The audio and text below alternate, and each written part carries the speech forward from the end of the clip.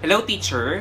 So, ngayon naman po sa video na ito, pag-aaralan natin yung ating bagong COT or Classroom Observation Tools na gagamitin for this school year. Ito po, based sa memo na nilabas na ating DepEd regarding our guidelines in RPMS na kailangan po natin. Meron po ako dito sa ating description below kung ano po yung memo na yon. Ngayon po, Uh, Siyempre, tinatanungan natin ano ba yung mga bagong changes o pagbabago regarding nga dito sa observation, kung meron ba at ano yung mga gagawin natin at need to prepare. Ngayon po, dito, papakita ko sa inyo yung halimbawa ng COT natin for teacher 1 to 3 and for master teacher. At meron tayong tinatawag din na observation notes. So, ano ba yung kailangan natin i-prepare? Uh, pre-observation, before the observation, during the observation, and after or post-observation na dapat nag malaman natin at ano-ano ba yung mga indicators. Dito kasi magbe-base kung paano natin i-deliver yung ating lesson, di ba? Yung ating objectives at yung ating mga para sa ating mga learners, di ba? Diyan tayo magbe-base nga. Ngayon nga, nasabi ko na sa nakaraan kong video na pwede tayo ma-observe through our online class kung available yon sa inyo or through recording a video. At pwede rin through your LAC or Learning Action Self Sessions, di ba? So, yan po yung ating mga paraan para ma-observe. So, muli kasama ninyo sa teacher, Bid. Uh, bago po natin simulan tong video na ito, kung di ka pa nakasubscribe sa akin channel, please click subscribe. At click mo rin notification bell para mag updated ka sa mga latest video. At kung gusto mo magkaroon ng copy nito at ng mga memos, pwede ka po mag-join sa aking FB page. Search mo lang Teacher Bin sa Facebook. This will be our classroom observation tools for our RPMS for this school year of the new normal. Dahil nga wala tayong face-to-face classes, medyo magkakaroon ng difference or pagkakaiba doon sa ginagamit nating COT before ngayon. Ito yung for teacher 1 to 3. But meron pa rin naman, same pa rin naman yung mga uh, parts. Meron pa rin tayong rating sheet, yung observer, teacher observe, subject, grade level taught, date and quarter. Magkakaroon po tayo ng dalawang observation for this school year. Ito nga ay pwedeng through online your, on your online class, recorded a video, or through your LAC. This uh, RPMS tool was developed through uh, this COT was developed through the Philippine National Research Center nga for the quality, teacher quality with support of the Australian government. Ito yung ginagamit din natin. Kung makikita nyo, familiar kayo. Kapag may pasok tayo, yun yung ginagamit natin pang-observe. Now, for the direction for the observer, you will rate each item for the checklist according how well the teacher performed. During the classroom observation, you will mark the appropriate column with the check symbol. Ito, meron tayong mga points dyan. Each indicator is assessed on individual basis regarding of its relation to other indicators. For school with only one observer, this form will serve as the final rating sheet. Kung ma-observe nyo, may indicators po tayo dito at meron tayong scoring. We have 3 to 7. How well you will perform the indicators in your objective or in your lesson. Kapag NO, ibig sabihin not observed, hindi napakita. Dito po, meron tayong first, kasi ayan, nabawasan. Dahil nga wala tayong classes or face-to-face, -face, medyo nagkaroon ng changes sa mga indicators na less. Ito, tatlo na lang siya kung ma-observe nyo. We have first, apply knowledge of content within and across curriculum teaching areas. Of course, kailangan po maging familiarize pa rin tayo at master natin yung ating lesson at based siya sa most essential learning competency. At angkop yung mga instructional strategies na gagawin natin for this new normal. Next, number two, plan and deliver teaching strategies that are responsive to the special educational needs of learners in difficult circumstances, including geographic isolation, chronic illness, displacement due to armed conflict, urban resettlement or disaster, child abuse or child labor practices. So, dito po, kung ma-observe nyo naman, dapat appropriate nga yung gagawin nating tools, yung mga activities, self-centered, at madaling maintindihan. Like sa online classes, appropriate yung gagamitin nating tools or strategies sa pagtuturo. At mako-consider, of course, yun nga yung safety. Dahil wala pa rin tayong face-to-face -face classes. For number 3, Select, develop, organize, and use appropriate teaching and learning resources including ICT to address learning goals. So ito nga, dapat po uh, tayo matuto sa paggamit nga ng technology dahil very helpful siya ngayon. Wala tayong face-to-face classes, mababawasan yung panganib kung tayo mag-online. At kung wala man, recorded a video, pwede po yun. Or sa pagpapacilitate nga nung lock session natin, kung mag-speaker tayo doon. Utilize lang natin, gumamit tayo ng iba-ibang mga pwedeng deliver, PowerPoint, presentations, videos, 'di ba?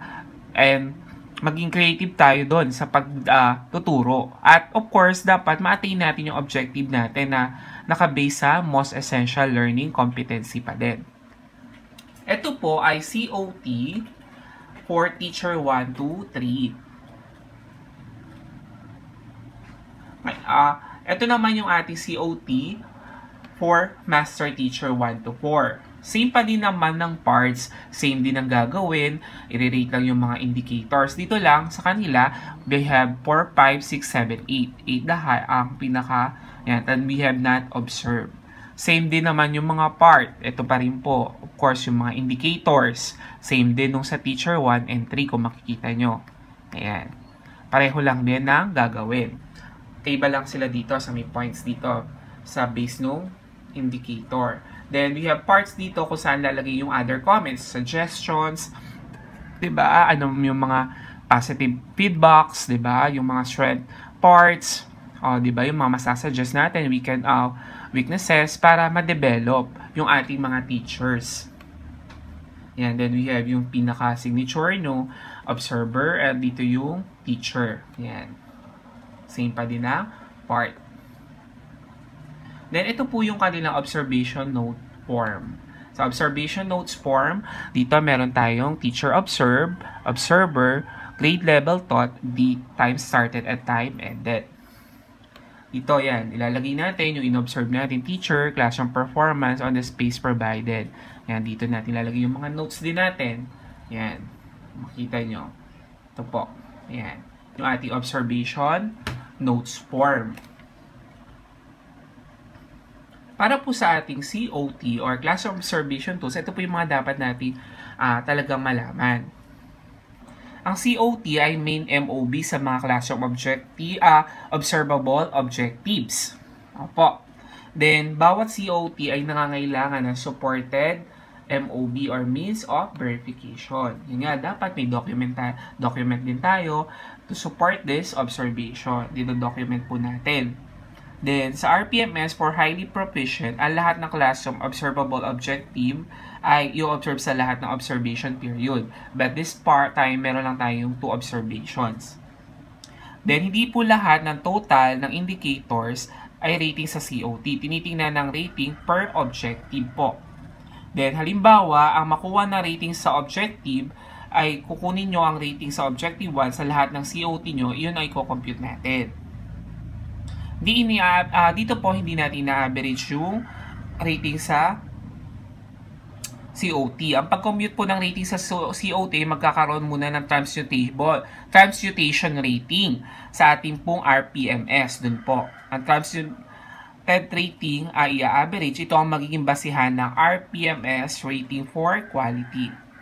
Kung ilan po ang sinadmit yung COT, yun din po ang bilang ng divisor. Kung dalawa lang po ang COT, dapat divided by 2. Yan. So, ngayon po kasi dalawa lang yung COT gagamitin natin for this school year. Ito po yung mga alternative classroom observation yan na sinasabi ko. Pwede tayong online observation through your video lesson or through your LAC. Sa pre-observation po, dapat review muna natin yung COT natin. The RPMS rubric, plans the lesson based on the indicators. Mahalaga po yan. Dapat yung gagawin yung lesson based sa mga indicators, mapapakita nyo yon And discuss the schedule on your mentor. Then, ganun din po sa observation through a video lesson. Mag-schedule din po kayo kung saan kailan yung sasubmit yung video nyo. Then, for lock naman, di ba, mag-schedule po kayo ng lock din at rubric appropriate to the position, of course, nung teacher. Dapat. Sa pre po yan, pre-observation. O during observation na, dapat po maka-access yung mag-observe uh, sa inyo through your online class. Meron silang notes form and then yung COT. You will deliver the lesson. Dito naman po sa video lesson, they will record their comments regarding your video recorded. Then, submit sa observers. Then, dito naman, mag-online din sila while available sa mga LAC. Yan po. Pero kung meron kayo sa schooling, meron kayong schedule, dun din po makikita nila. Yan yung rating sheet nila, yan.